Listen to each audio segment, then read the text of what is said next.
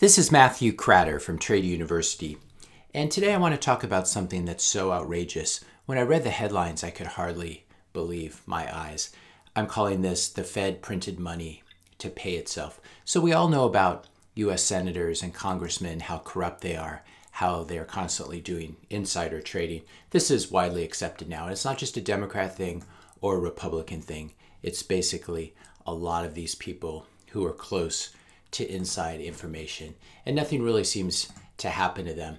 And then on the other side, we have all these fiat personalities, all these billionaires, all these politicians, and central bankers who, for some reason, seem to really, really hate Bitcoin. And the amount, the uh, degree of their vitriol and their hatred for Bitcoin is often surprising, and it should be sort of a wake up call for people. Why do they hate this so much? So, Warren Buffett has talked about Bitcoin being rat poison. Christine Lagarde from the European Central Bank, the ECB, basically uh, paints Bitcoin as mainly just a money laundering uh, device that needs to be uh, shut down because it's engaged in so much funny business. Senator Warren talks about uh, shadowy super coders and makes Bitcoin seem really uh, shady, uh, etc. But here's the news story that I wanted to cover. Federal chief, so the chief of the Federal Reserve, uh, Chairman Powell, and other officials actually owned securities that their own central bank was buying during the COVID pandemic. So they own muni bonds, they own various corporate bonds and stocks. And then what happened is the Fed printed up money and just so happened to buy those same things. This is just as, as unbelievable as it gets. I want to really congratulate Steve Liesman and CNBC for for once doing some some real research and allowing this to surface. We can scroll down here. We can see that uh, Chairman Powell owned muni bonds in a joint account over which he had control. They had initially reported that it was in a family trust and he couldn't do anything about it. But it turns out that all these Fed officials actually owned securities and assets that were being printed, that were being bought by the Fed to prop them up. So Powell owned muni bonds. Uh, Boston Fed President Eric Rosengren owned uh, REITs that owned mortgage backed securities. Thomas Barkin owned corporate bonds that were being bought by the Federal Reserve as well. And what's what's even more crazy is it turns out that these clear ethics violations are not actually ethics violations under the current laws for the Fed. I think they're probably going to change it. It looks like a bunch of these Fed presidents are going to sell their holdings, so there's not as much of a, a contract uh, conflict of interest. This is the kind of story that there literally should be mobs outside the Federal Reserve protesting. These are insiders purchasing their own securities using freshly printed up money that dilutes all of us and destroys our purchasing power. This is one reason why the prices of everything have gone up so much in the last 12 to 15 months is from all this money printing. Meanwhile, we talk, we've talked about the Cant- Cantillon effect, the Cantillon effect in, in economics, where those closest to the money printer benefit the most.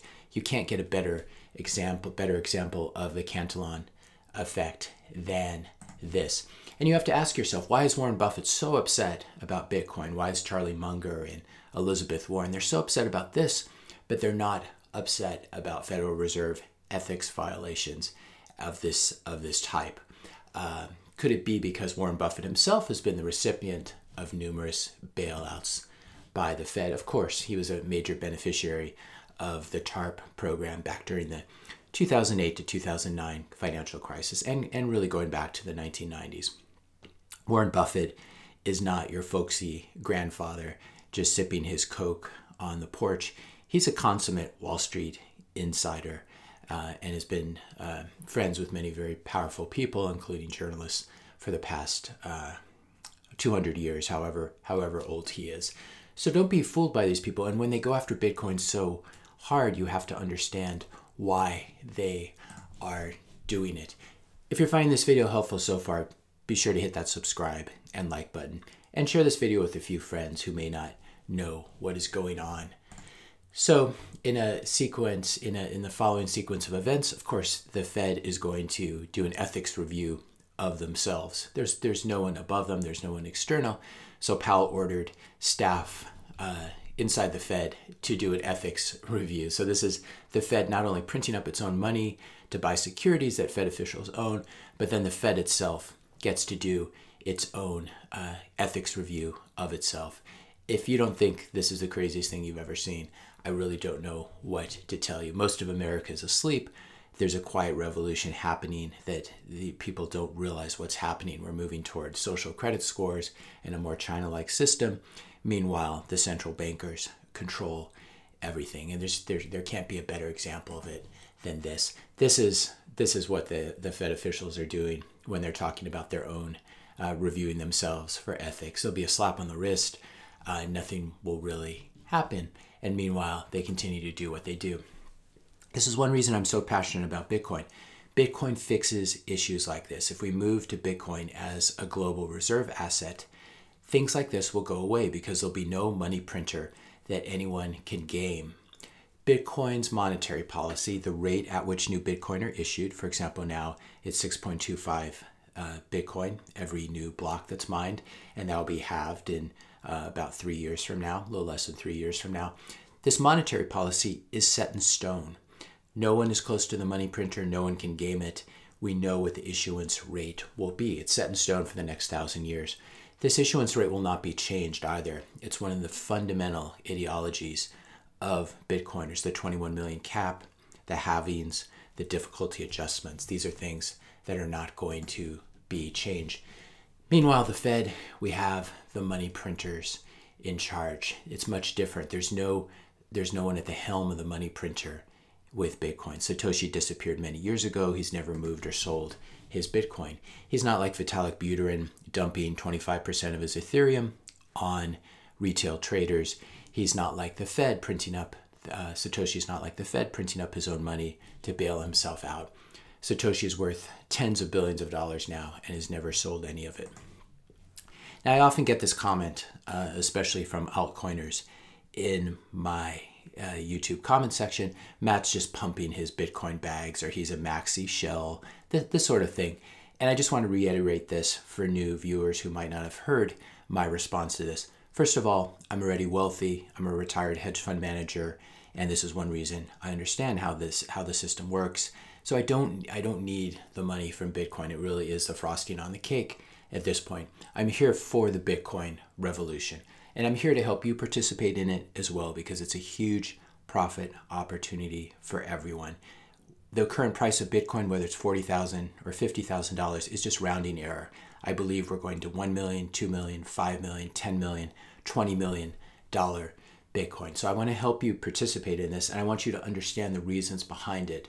I don't want you to blindly follow me into this, but I want you to do your own research to understand the current system and then to understand the alternative that a Bitcoin standard could offer. Also, not pumping my bags, I'm never going to sell Bitcoin. I'll, i may borrow against it once it gets above a million dollars per coin, but I'm never going to sell it. You never sell your Malibu beach house. You never sell your Picasso. Uh, you never sell your Raffaello or Leonardo da Vinci painting. These are scarce objects, and Bitcoin is the first and only example of digital scarcity. So I'm not pumping because I'm never going uh, to sell. The real reason I'm interested in Bitcoin, apart from the profit opportunity, is I don't want my children and my grandchildren to live in a world run by central bankers and other central planners. These people who can print up their own money to bail themselves out and pay themselves. And this is the great irony when people use this critique against me, against Bitcoin maximalists, saying that I'm just pumping my bags. The ironic thing is, I've added it up. I could easily make an extra million dollars a year getting paid to pump altcoins, like a vast majority of other YouTubers, YouTubers that you see out there.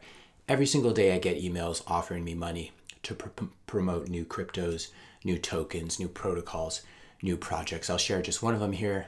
This is these are scumbags. Don't don't go to Point Network. Basically, they pretend they're building Web 3.0 and they want me to be their first crypto influencer.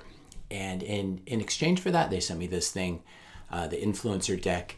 And this is you have to understand YouTubers who are promoting tokens besides YouTube. Here is the uh, the uh, the key paragraph. You would have the opportunity to receive tokens before our ICO launch. So, this is what a lot of YouTubers do and a lot of people who are not Bitcoin maximalists. They get paid. I could get paid a bunch of tokens here, and then I could dump them. I could make a video and then dump them on all, on all of you while you are buying it. This is how the vast majority of these programs uh, operate. And a lot of people are just very naive uh, about this. And this is the ironic thing about criticizing Bitcoin maximalists, because for Bitcoin, there's no center there. No one ever contacts me to pump Bitcoin. And do you know why? There's no CEO, there's no headquarters, there's no legal team, there's no marketing team sending out emails to social media influencers. Bitcoin really is decentralized. It doesn't have a marketing budget like Ethereum or Cardano or the Point Network. So the next time you see a YouTuber pumping something besides Bitcoin, know that it's quite likely that something like this is going on behind the scenes. Like I said, I get many, many emails like this a day. I could make uh, I could make a video for these guys, and they probably pay me like ten ten thousand, twenty thousand dollars just for one or two videos. So there's huge money involved. There's a huge temptation, and so far I've been able to resist it. Uh, if I ever do start making videos about other cryptocurrencies or tokens, you should call me out and ask me if I'm being paid. It's highly unlikely. I really am a, uh, a toxic Bitcoiner maximalist, and I accept I accept the title because I'm in this for the revolution that's coming that will move us to a Bitcoin standard. Finally, I wanted to end with this tweet from Wealth Theory, which I thought was spot on.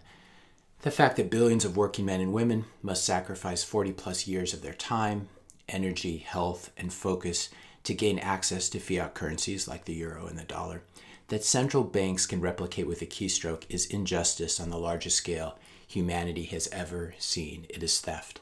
And I think this is true. And the clearest example of it that we've seen to date is the Fed printing up money to buy the very same securities that Fed officials own. If you found this video helpful, be sure to hit that subscribe and like button. Hit the notification bell to be notified when I publish my next video. And let me know your questions and comments in the comment section below. Thanks a lot for watching, and I'll see you in the next video.